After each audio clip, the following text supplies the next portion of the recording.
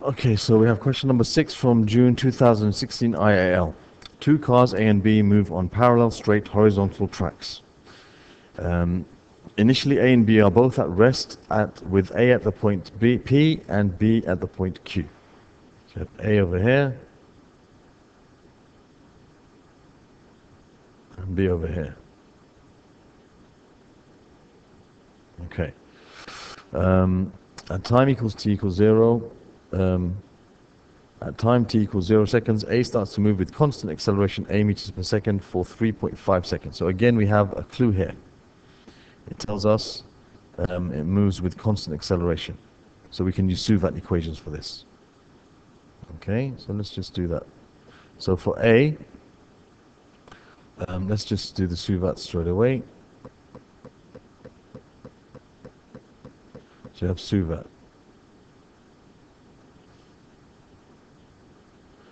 So we got S, we don't know. For A, we got starts at rest, U is zero. Okay, A, we have V, um, it reaches a speed of 14 meters per second. So V is 14. A is what we have to find, and the time is 3.5 seconds. Okay, we don't know what S is. We have to find A. So we can use V equals U plus AT.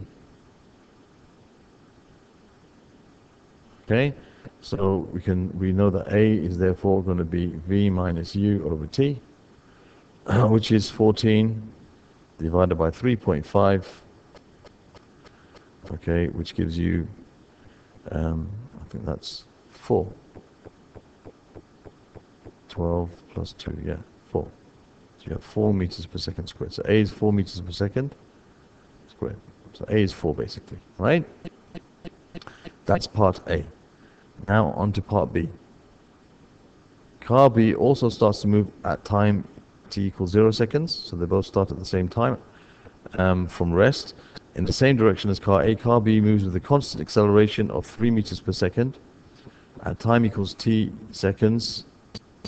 Okay, um, B overtakes A. At this instant, A is moving with constant speed. Okay. So we've got a sketch on the same axis, a speed time graph for the motion of A and the motion of B between 0 and t seconds. Okay, so let's do that. So we have here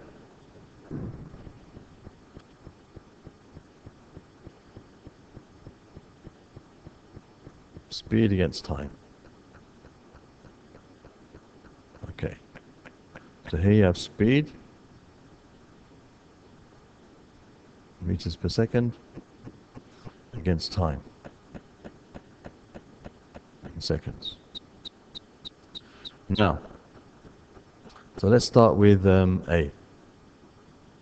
For A, it says it starts from rest. They're both at rest, so it starts from rest. Okay, um, 3.5 seconds and it reaches 14 meters per second. Okay, so it starts from rest and let's get rid of the arrow first. Starts from rest. Starts from 0, 0. And after 3.5 seconds, let's say that's there, it reaches 14 meters per second. And then it goes at constant speed until t. Okay, so here we have, I'll draw some lines to make it a bit clearer. So here we have.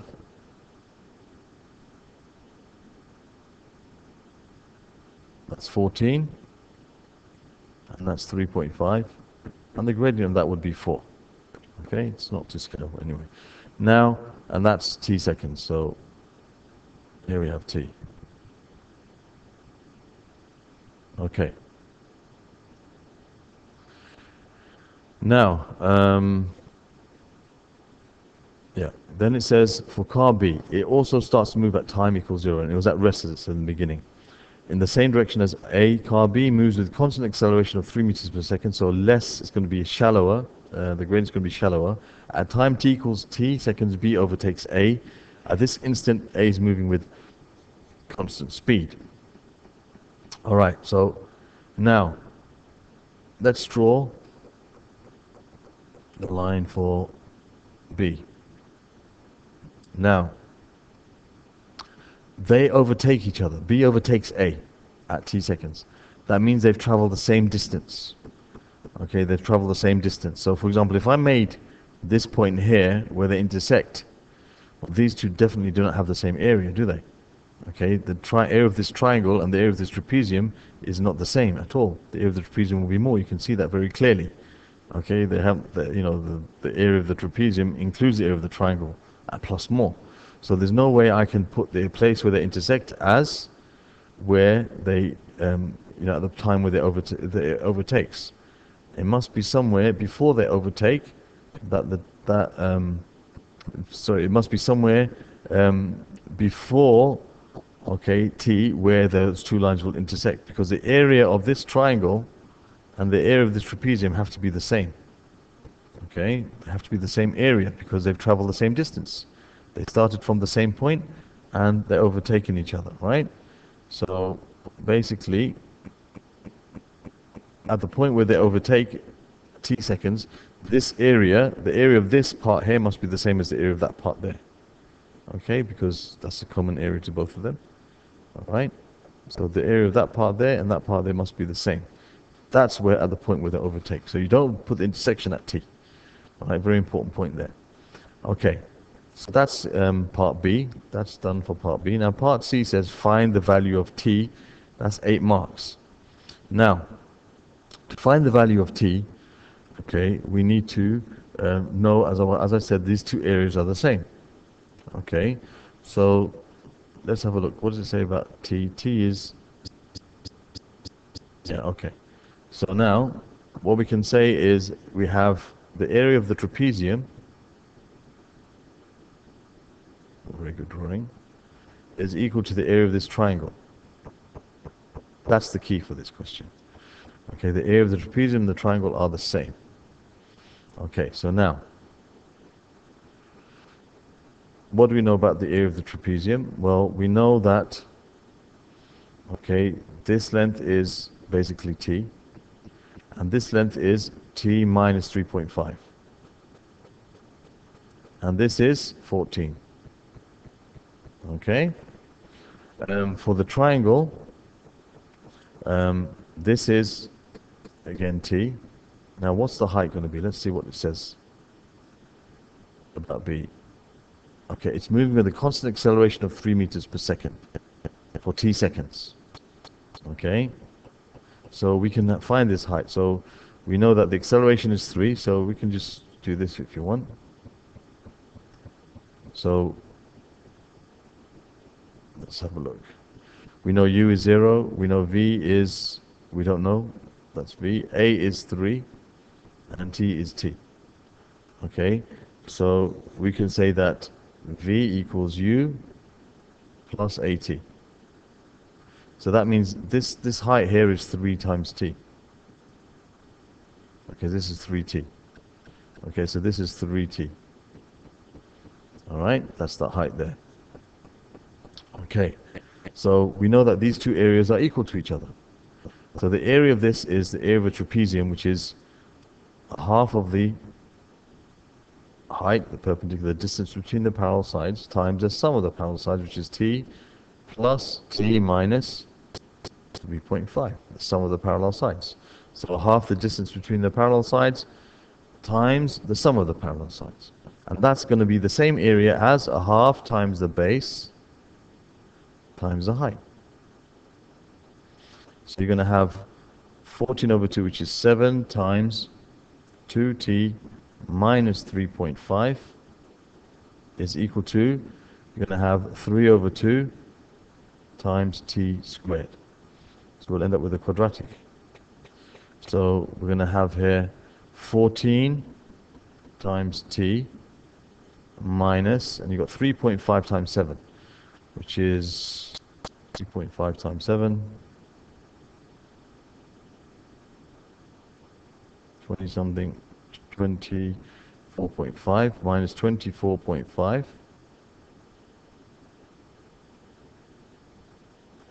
is equal to 3 over 2 t squared. Multiply both sides by 2, you'll have 28 times t minus, that's 49, equals 3t squared. So you end up with a quadratic equation. Let me just continue over here. So you get 3t squared, let's bring everything to one side, uh, minus 28t plus 49 equals 0. Okay, so to solve this equation, we have to use, could use factorizing, I guess, but let's just use um, the formula to find it. Okay, yeah, we could use the formula to solve this. Um, we could use factorizing by splitting the middle term, but again, little shortcut for you. When you, you don't want to be uh, maybe thinking too much or getting, you know, worried in the exam. You could deal with this quite simply. Um, if you're not sure how this will factorize and you know splitting the middle term is going to take some time, you're running out of time, whatever, you can do something which will help you and you won't lose any marks. Okay, so you go to menu. Have I done here? Okay, you go to menu. You go to the part that says equation. This one is 9. Polynomial again. Degree 2, which is quadratic. And you just put in the values of the coefficient of the t squared, which is 3, and press equals. Coefficient of the t, which is minus 28. Don't forget the sign, minus 28. Press equals and the, and the constant which is plus 49, so 49 equals, and then you press equals again, it will tell you one of the solutions. Now what I would suggest you do is you leave a bit of space. Say, okay, t equals 7. Okay, and then you press equals again, and it gives you the other solution, which is 7 over 3. So t equals 7 over 3. 7 over 3. Okay.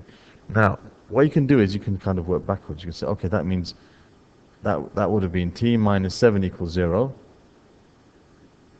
And that would have been 3t equals 7. Okay, before you did that, would have been 3t equals 7. And this would have been uh, t minus 7 in one bracket. It's lagging now. And this would have been, before that, it would have been 3t minus 7 equals 0. Okay, that's 3t minus 7 equals 0. So this will be therefore 3t minus 7. And that's how you can fake that you factorized it. Okay? You should know that you can factorize it by splitting the middle term or guessing checking, but this is a nice um, way to do it in an exam when you have a, a, you know problem. So t equals 7 or t equals 7 over 3. Now, it says find the value of t. So there's only one value of t. Now what we can think about here is t is definitely more than 3.5 seconds. Okay, t is definitely more than 3.5 seconds. Okay, so it can't be 7 over 3 because 7 over 3 is less than 3.5 seconds. So t must be 7. t is equal to 7 seconds. And that's the answer to that part of the question. Okay, so t equals 7 seconds. Um, and we know that because we know that t must be more than 7.5.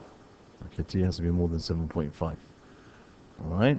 Uh, sorry, more than 3.5, not 7.5, because it's at the at the time when um, a is going at constant speed. By the way, this is a, and this is b. should really label them. Okay, so when a is going at constant speed, it's going to be where t is, so it must be more than 3.5. Okay, so we know that it can't be 7 over 3. Now, um, part D says find the distance of car B from the point Q when B overtakes A. Okay, so the point Q is like the beginning of the journey. Right, so basically, you've got to find the distance that these have, have moved. You can find either the, the area of this trapezium or the area of this triangle. The areas are the same. Um, triangles are generally easy to find the area of, so let's take the area of the triangle. Now we know the dimensions of the triangle, don't we? Okay, this is um, t, and this is 3t. If we remember rightly. Yes. And we know what t is. t is 7. So this is 7, and this is 21. Okay, so the area, because the distance is the area under that triangle, which is a half times 7 times 21. Okay, so you have a half times 7 times 21. Um,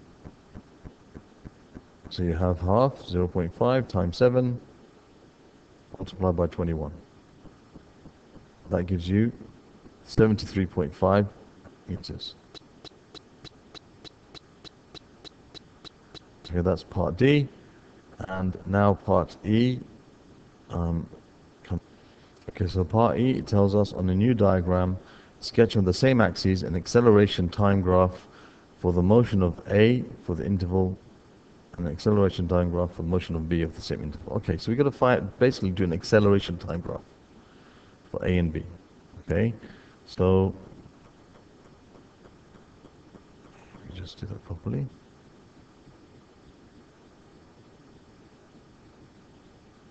Okay. So we have acceleration against time. So we have acceleration. This is meters per second squared against time, which is in seconds. All right. Now, for um, remember the acceleration of A, acceleration of A was 4 meters per second squared. The acceleration of B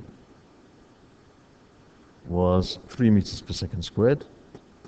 For the first 3.5 seconds this was, and then it was constant acceleration, and then it was a constant speed, which is zero acceleration. So for A, you have 4 meters per second squared for 3.5 seconds, and then you have um, 0 meters per second squared for the, uh, the next um, 3.5 seconds. It's 7 seconds altogether we're considering. And um, for B, it's constant acceleration of 3 meters per second all the way through, 3 meters per second squared. So let's just show that. So you got, you're going to have 3 and 4. Okay? So for A, it's going to go like for A, it's going to look something like this. You're going to have that for B, it's going to be all the way to 7. Okay, so this is 7 seconds. And this is 3.5 seconds. Mm -hmm. Now I'm going to show this. Let me show this in a different color. Let me show this in a different color. Okay, because then A is going to go down here. So this is A. I'll put that in different color.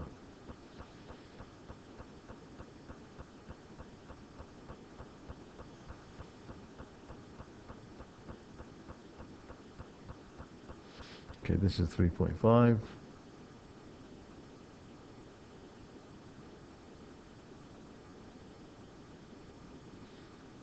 straight.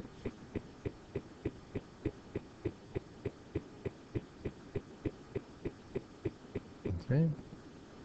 So here we have A. This is A. And this is B. And this is A. Okay, between here and here. Alright? So there we have a, sketch of an acceleration time graph of the motion. A was going for constant acceleration 4 meters per second for 3.5 seconds. B is going at a constant acceleration of 3 meters per second squared, sorry, 4 meters per second squared, 3 meters per second squared, all the way for all 7 seconds. Okay, and there we have it. And that's the end of that question. Thank you.